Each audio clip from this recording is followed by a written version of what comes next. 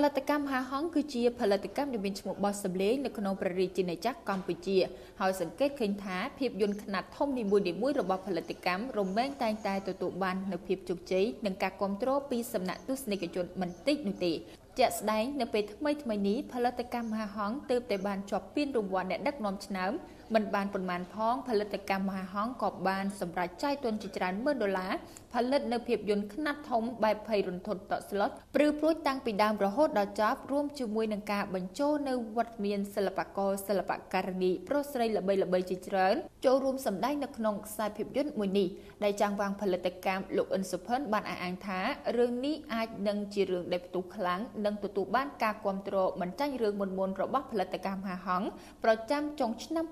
2017នេះ ភាពយន្តខ្នាតធំរឿងផ្ទះចុងភូមិជាប្រភេទរឿងបែបកំ pl ុកកំ pl ែងខ្មោចរន្ធត់ស្នេហាប្រត់ប្រាស់អាចកំបាំងនិយាយពីការសាងអំពើល្អការសងសឹករវាងខ្មោចនិងខ្មោចមានវត្តមានតារាសម្ដែងជាច្រើនដែលមានដូចជានាយគ្រឿនកញ្ញាម៉ាច់កឹមធីតាលោកជាសវណ្ណរាកញ្ញាធីវ៉ាន់ឌីវ៉ាអ្នកនាងសឿនផាន់ផាភួងកញ្ញាដានីអារីយ៉ាលោកយុនរិទ្ធយ៉ាននិងវត្តមានតារាសម្ដែងប្រុសស្រីល្បីឈ្មោះជាច្រើនរូបទៀតផង។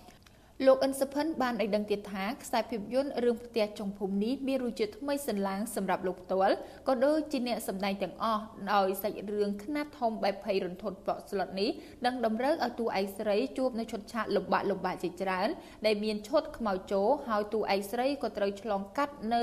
ឈុតឆាកមួយចំនួនទៀតដែលទស្សនិកជនទស្សនានឹងមិននឹកស្មានដល់ ហើយអ្វីដែលកាន់តែពិសេសគឺភាពកំ pl ុកកំ pl ែងរវាងនាយគ្រឿនរួមជាមួយនឹងលោកជាសវណ្ណរានឹងមានការកាច់កង់បង្ហើរពាក្យសម្ដីសារស័ព្ទឆ្លើយឆ្លងគ្នា ដែលធ្វើឲ្យក្នុងសាច់រឿងមាននៅភាពកំ pl ុកកំ pl ែងលីឡំជាមួយនឹងឈុតឆាករន្ធត់ផងដែរ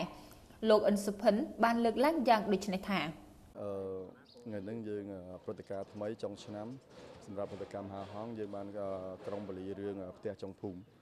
ផ្ទះចុងភូមិហ្នឹងគឺជារឿងមួយបែបមโนចេតនាសោកសង្រេងស៊ីជម្រៅប៉ុន្តែកំ pl ែងហើយនឹងរន្ធត់ខ្លាំងមែនតើមករហូតដល់90%ហើយរឿងហ្នឹងគឺជាស្នាដៃនិពន្ធរបស់ខ្ញុំហើយនឹងដឹកនាំដោយលោកជុំវិចិត្រដែលគាត់ទៅទទួលពានរង្វាន់អ្នកដឹកនាំរឿងឆ្នាំប្រចាំឆ្នាំ2017ក្នុងមហោស្រពភាពយន្តជាតិបាទនិយាយទៅរឿងថ្មីមួយនេះគឺយើងសម្រាប់សម្រាំងមែនតើអឺគឺជាខ្សែរឿងមួយដែលរបៀបថាខ្មែរយើងតែងតែនិយាយតតគ្នាដូចថា ផ្ទះមួយដែលគេបោះបង់ចោលថាផ្ទះហ្នឹងគាត់មានអ្វីមួយអកម្បាំងក្នុងហ្នឹងហើយអ្នកដែលមានអកម្បាំងដោយសារគាត់ខូចចិត្តនឹងប្តីរត់ចោលទៅក្រុងដើម្បីទៅមានសេរីថ្មីហើយគាត់ចាំចាំរហូតដល់អ្នកភូមិទាំងអស់ចំអកឲ្យគាត់ថារឿងរឿងរ៉ាវកើតឡើងច្រើននៅក្នុងផ្ទះពួកគាត់ហ្នឹងហើយធ្វើឲ្យម្នាក់ម្នាក់ខ្លាចរអាក្នុងភូមិហ្នឹងគាត់នាំគ្នារត់ចេញពីភូមិហ្នឹងទាំងអស់ហើយខ្លាចជាភូមិមួយដ៏ស្ងាត់ជ្រងំនៅគ្មានមនុស្សនៅហើយហើយម្នាក់ម្នាក់ ឲ្យតែដើរកាត់ផ្ទះគាត់ឬមួយឲ្យកាត់ដើរផ្ទះចុងភូមិនឹងនឹងមានបញ្ហាកើតឡើងម្ល៉េះយើងក៏ទៅសេធានវត្តមួយថ្មីដើម្បីតម្រូវទីផ្សារបច្ចុប្បន្នគឺកប្លែងគឺកប្លែងខ្លាំងមែនតើហើយនឹងរន្ធត់រន្ធត់ខ្លាំងមែនតើហើយយើងចង់សាកស្នាដៃនឹងមួយទៀតដោយសារយើងទទួលជោគជ័យរឿងខ្មោចរបៀបកប្លែងហ្នឹងការរឿង30ថ្ងៃដែលដឹកនាំដោយលោកជុំចិត្តយើងទទួលជោគជ័យខ្លាំងហើយយើងក៏ ក៏ក៏ធ្វើរឿងនឹងឡើងដើម្បីសម្រាប់ស្វាគមន៍ឆ្នាំ2018អឺរឿងនឹងយើងនិយាយទៅបើចំណាយដើមទុនសមរម្យវាអត់អាចលើ50000ហើយក៏មិនអាចអឺក្រោម40000ដែរក្នុងចន្លោះហ្នឹងព្រោះយើងទៅអឺជាពិសេសគឺឆាកយើងទៅរើសរៀបចំឲ្យបានល្អហើយបន្ទាប់មកទីតាំងទីតាំងយើងត្រូវរកទីតាំងយើងមាន3 4កន្លែង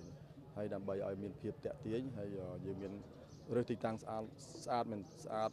របៀបថាមើលទៅចូលអារម្មណ៍មែនតើដោយឡែកបាននិយាយពីរឿងចំណាយដើមទុនវិញលោកអិនសុផិនដែលជាចាំងវាងផលិតកម្មមហាហងបានធ្វើការលើកឡើងថា